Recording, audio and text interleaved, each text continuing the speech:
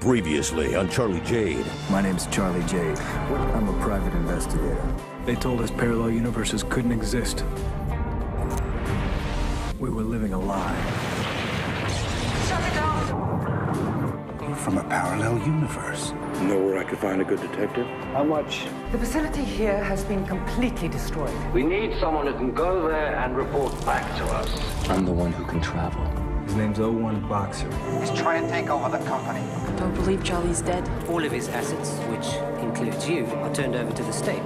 This is the new face of terror. That's the woman you saw. Five million rand price on this woman's head.